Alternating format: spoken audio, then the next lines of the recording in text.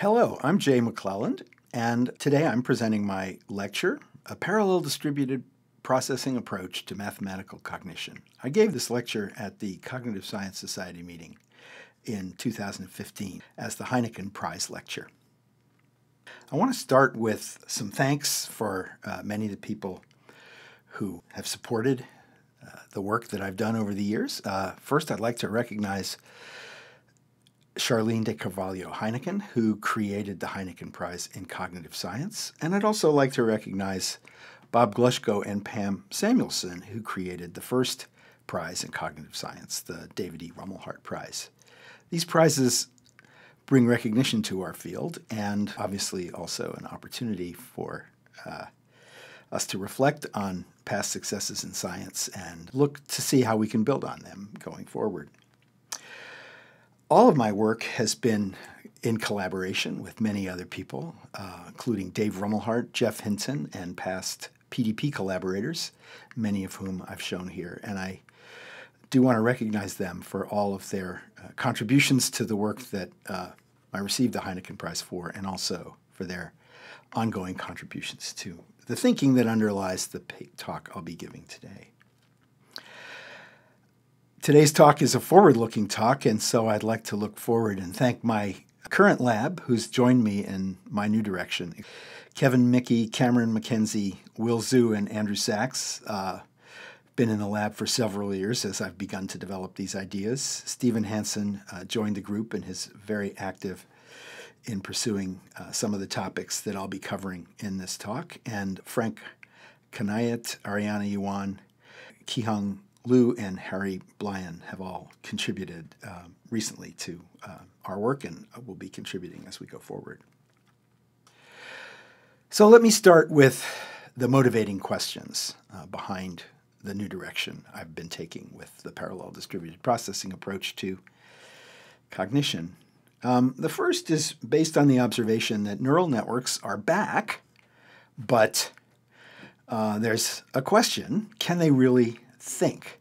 So when we developed the parallel distributed processing framework using neural networks to model cognition in the early 80s, uh, we were motivated by the idea that neural networks provided a natural way of thinking about how we might capture natural aspects of human cognition, like our ability to see and recognize speech and figure out how to take the right action in a behavioral context.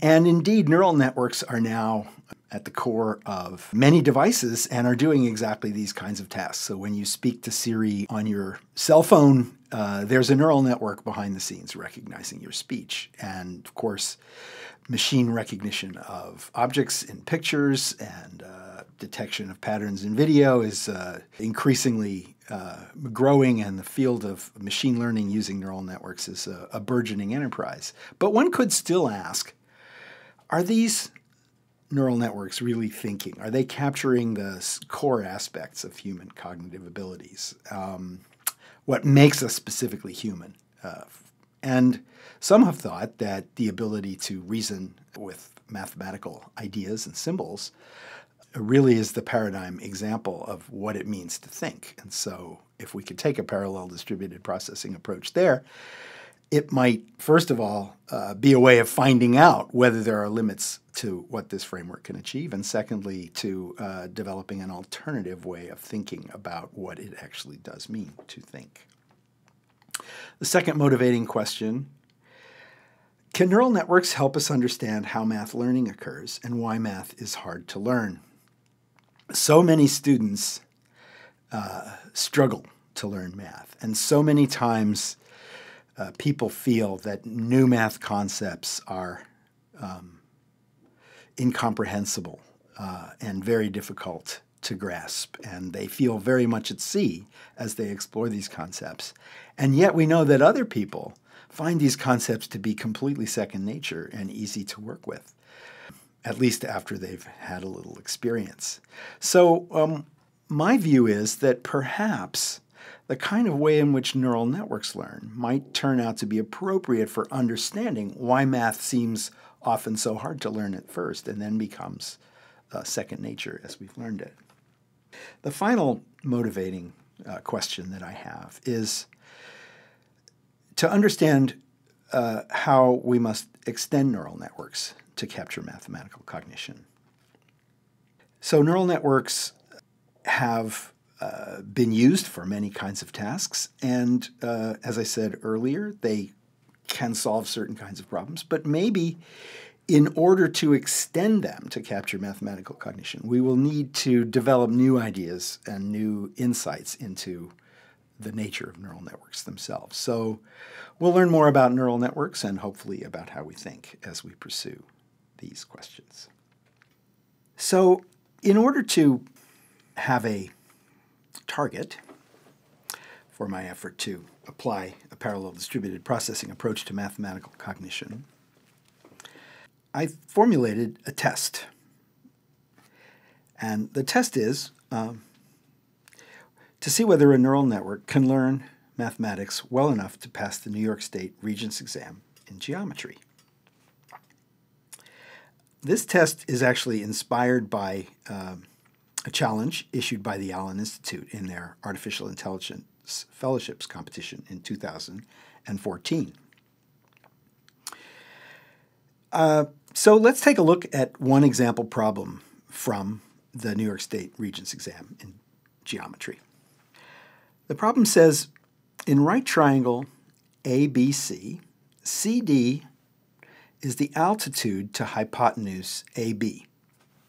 If CD is equal to 6 and the ratio of AD to AB is 1 to 5, determine and state the length of BD. And then the exam says only algebraic solutions receive full credit. There's a page on which the student is allowed to write their answer to the question.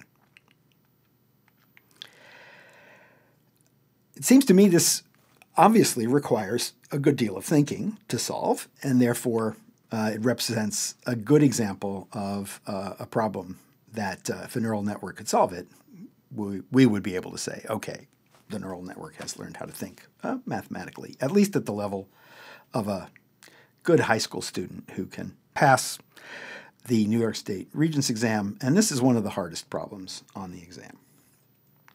Um, however, um, unlike the Allen Institute Artificial Intelligence Challenge, I wanted to um, make my challenge a bit more of a psychological one, and that is to say, I want the neural network to learn how to do this task and to act and explain its own actions in a human like way from human like input. So, could we actually build an artificial neural network learning system that acquires mathematical ability so that it can solve these problems?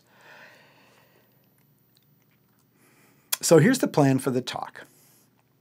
First, I'll provide a perspective on the nature of mathematics and the basis of mathematical intuition. And then I'll provide a perspective on the nature of knowledge and learning. Now, this part of the talk will draw heavily on the ideas originally introduced in the parallel distributed processing books uh, that Dave Rumelhart, Geoff Hinton, and many others uh, with me uh, developed back in the 1980s. Then we'll talk about some empirical findings and models in mathematical cognition that are consistent with this perspective. And these models will again draw on the parallel distributed processing framework. Then uh, the final part of the talk will involve steps that we're in the process of taking towards taking this acid test, towards developing a learning agent that can learn mathematics to the level of being able to take the New York State Regents exam in geometry. And during that part of the talk, I'll describe the key tenets and the issues that we'll be addressing as we pursue this research plan. I think of this as a 10 year research plan. Um, we have not yet met this challenge. We are beginning down what I hope will be a successful, but probably a long road towards uh, meeting it. Finally, um, we'll end with a little bit of discussion about whether, in fact, this is possible at all and why or why not. So, what is mathematics? Well, here's one view. This view is associated with people like Frege and Russell, and it can be encapsulated by the statement all mathematics is symbolic logic. Uh, it's the idea that um, what mathematics is, is the manipulation of expressions according to symbolic rules. Um, one articulation of such a vision in a more recent time frame were, was uh, presented by Fodor and Pylyshyn in their critique of neural networks in 1988, in which they characterized systematic cognition as the manipulation of symbolic expressions according to structure sensitive rules. And indeed, since the 1980s, computer programs based on these ideas have been able to process any well formed integral differential equation, such as the one below. These computer programs have no idea what these expressions mean, but they can reduce them, manipulate them, uh, calculate uh, results through following through a set of manipulations according to structure sensitive rules. So that's one view of the nature of mathematics. But there's an alternative vision, and many mathematicians uh, actually hold this view. Um, I found uh, a book by a man, a mathematician named Thomas Needham called Visual Complex Analysis. Um, that is to say, it's a textbook of the analysis of complex mathematics, and um, he's advocating for a visual approach to this. In the preface to the book, Needham says, manipulating mathematical symbols without seeing what they mean is like writing music without ever hearing a note. Similarly, Roger Shepard, who is a very mathematical cognitive scientist, said that transformation of visualized objects of thought can convince us of the validity of mathematical and physical laws. In fact, he articulated this in his Rumelhart Prize lecture to the Cognitive Science Society and in the paper he wrote about that entitled The Efficacy of Thought Experiments. Shepard illustrated his ideas by describing a visual proof of the Pythagorean theorem. The theorem states the sum of the areas of the squares on the perpendicular sides of a right triangle is equal to the area of a square on the hypotenuse. Shepard showed this figure, uh, which illustrates the areas of the squares on the perpendicular sides of a right triangle ABC uh, graphically, as you can see. He then invited us to imagine sliding some of the triangles you see in the figure around, beginning with the light green triangle on the lower right. Imagine sliding that triangle up to the top of the uh, square. Then uh, the darker blue triangle on the lower right, imagine sliding that to the left. And then finally, imagine sliding the dark green triangle down and to the right uh, so that it fills the space that's been opened up by moving those other two triangles. After you've performed these uh, activities in your mind, you should have a picture very much like this one, which contains a square on the hypotenuse of each of those triangles uh, whose area is uh, obviously c squared. This is the proof that uh, Shepard presented to illustrate how the mental manipulation of objects of thought could uh, produce an understanding of the meaning of mathematical ideas. So, the approach to mathematical cognition uh, that grows out of these ideas um, uh, can be captured in two key tenets that I associate with Thompson, who is a mathematics education researcher. Thompson uh, proposes that mathematics should be thought of as a set of culturally constructed systems for characterizing and reasoning about quantifiable properties of real or imagined objects, such things as the area of a square or the cardinality of a set. Mathematical expressions on this view are statements about the measurable properties of these objects and the relationships between them. So that an expression like a squared plus b squared equals c squared expresses this relationship between the sums of the areas of the squares on the perpendicular sides of a right triangle and its equality to uh, the area of the square on the hypotenuse. Indeed, there are approaches to the teaching of uh, mathematics and the formulation of a fully rigorous uh, framework for mathematical argumentation around uh, the concept of transformational geometry.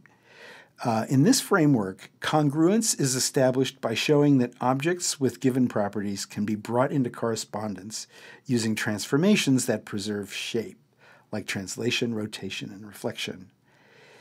Intuitions about the shape preserving properties of these transformations provide a basis for proof that then can be made rigorous by appealing to the invariances uh, mentioned above. So, a critical question then arises where do these intuitions that these ideas draw on come from? Shepard and others emphasize innate constraints that are inherent in the human mind. Stan Dehaene appeals to the Kantian idea of pure intuitions that are a priori and universal. I emphasize the roles of experience and education with culturally constructed systems. This view is also articulated by Thompson, who I mentioned before, and by Reuben Hersh, uh, who wrote a book entitled What is Mathematics Really? that emphasizes this same perspective. Now, a key part of my thinking here is the notion that experience and education with these culturally constructed systems leads to the development of habits of mind that um, are so fluent and uh, ingrained that they affect how we see both objects and mathematical expressions and become uh, very much a part of the fabric of our thinking. They become so ingrained that we forget that we acquired them, making them seem self evident or innate.